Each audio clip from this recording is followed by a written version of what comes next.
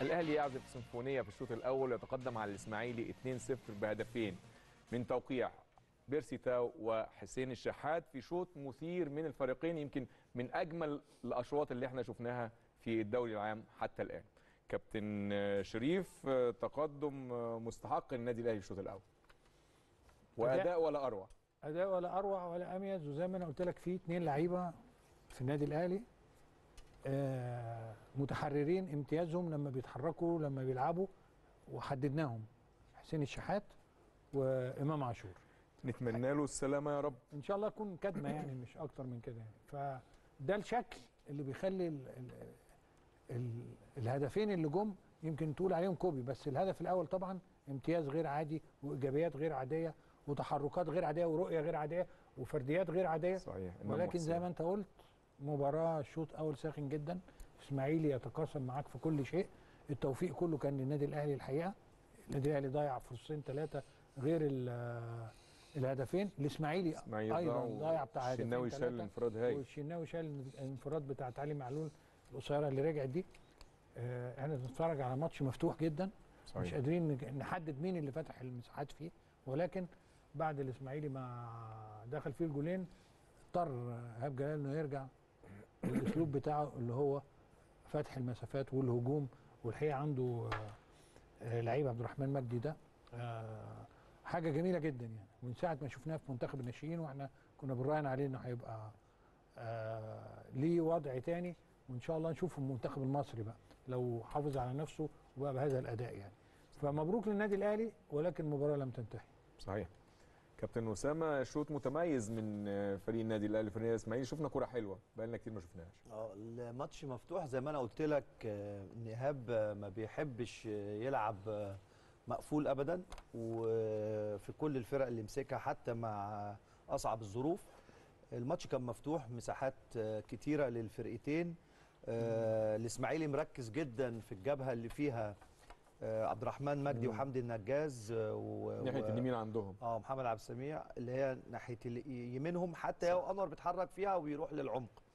آه لازم يبقى في مسانده شوية لعلي معلول. النادي الأهلي آه جاب جونين حلوين قوي.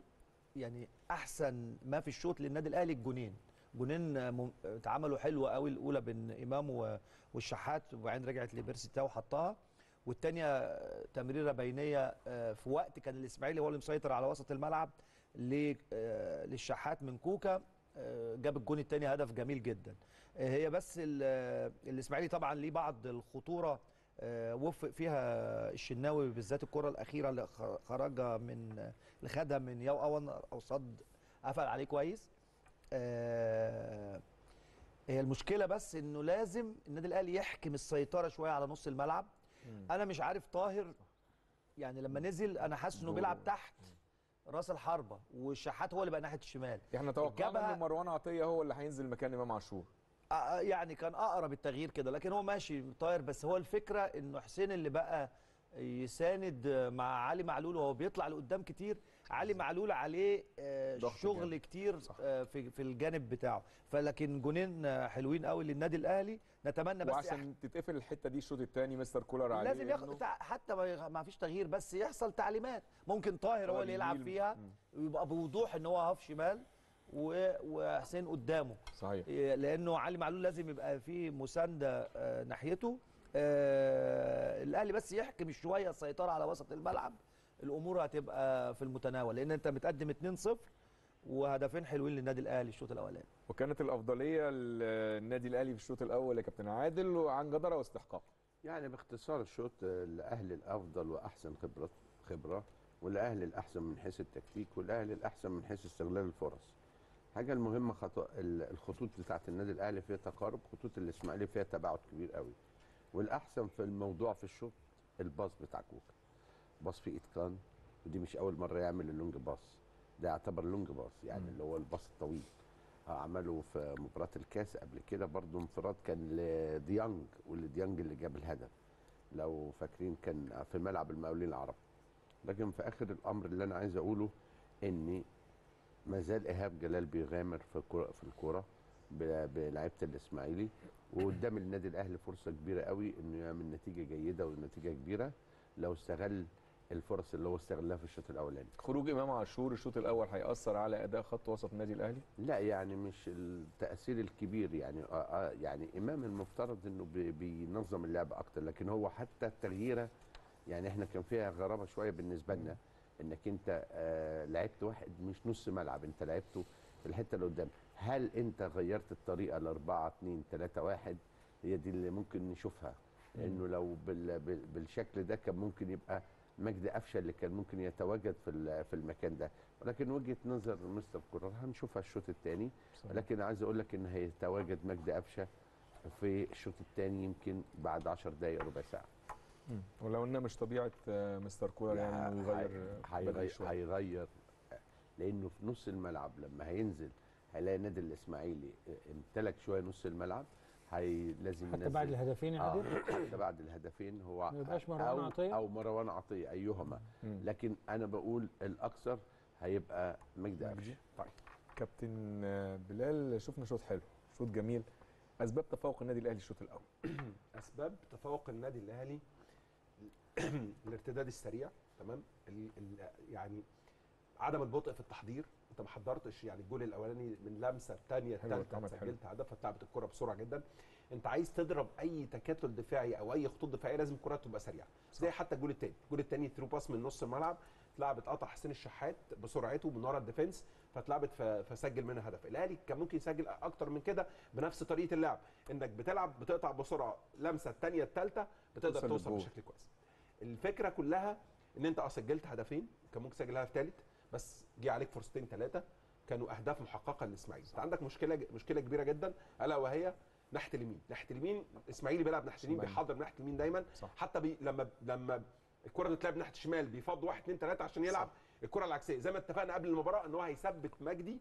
تمام؟ ناحيه ناحيه اليمين هي ناحيه الشمال بتاعتنا علي معلول. وكل مرة بيثبتوا الناحية بس دي. لازم يكون في مساندة مع علي معلول. علي هو- معلول هو- دايما بيبقى الحقيقة من لوحده. وجهة نظري هو التغييرة بتاعت طاهر دي تغييرة عجيبة بالنسبة لي. مم. يعني أنا م- مش قادر أفهم هل الراجل غير لمجرد التغيير ولا كان المفروض بيغير على أساس إنك تعمل حاجة طاهر؟ يميل مع علي. تمام؟ أنا الطبيعي يتغير تلاقي أنت كسبان 1-0 تلاقي يلعب بميد فيلدر ثالث عشان تقفل الجبهه الجبهه اليمين. يعني أنا ألعب ب midfielder ثالث ما ألعبش ب playmaker يعني إيه المردود اللي ممكن يديه طاهر محمد طاهر في الحتة دي؟ هل هو يلعب 8 لا. هل هو يلعب playmaker لا. هل هو يلعب second striker طب لو هو يلعب shadow striker أو second striker هل أنت محتاجه في التوقيت ده؟ ما أعتقدش. فالتغييرة بتاعه طاهر محمد طاهر دي بالنسبة لي فيها لوغاريتمات تمام؟ إيه الفكرة من وجهة نظر Mister Mister كولر؟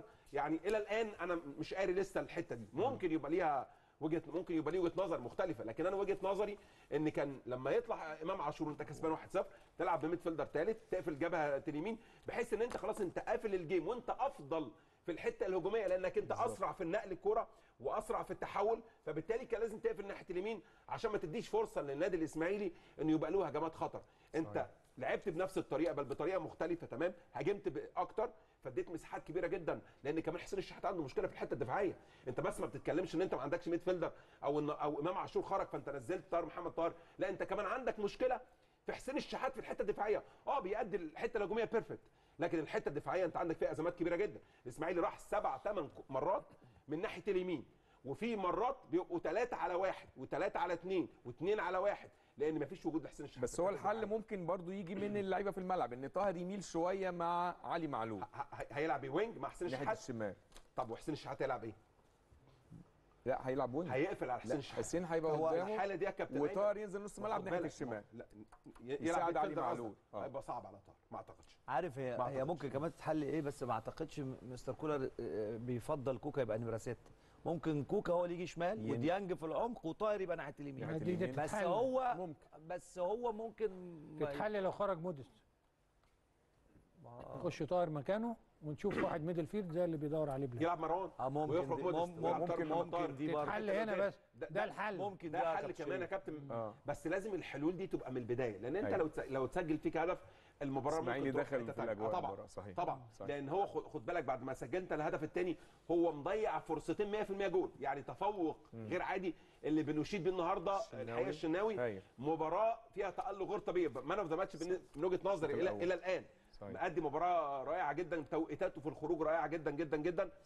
الأهلي النهارده رتمه سريع حلو لكن محتاجين يبقى في برضه في بعض الأوقات لازم يبقى تهدى بقى شوية. يعني صح. تمسك الكورة تلعب تباص تستحوذ استحواذ سلبي. صحيح. يعني تبتدي يبقى ليك تنوع في الريتم خصوصا إن أنت راكب الجيم بجولين خد بالك أنت مش هتقدر تكمل بنفس الريتم في. الحتة اللي قدام طول الماتش بالطريقة دي. مش هتقدر تلعب بالسرعات دي كلها لأن أنت بتلعب أنت بتقطع الكورة بسرعة بتت- بتتحول فبتترد عليك تاني فبترجع تاني. ده rhythm سريع طول المباراة. أنت محتاج شوية ال rhythm تعمل freezing.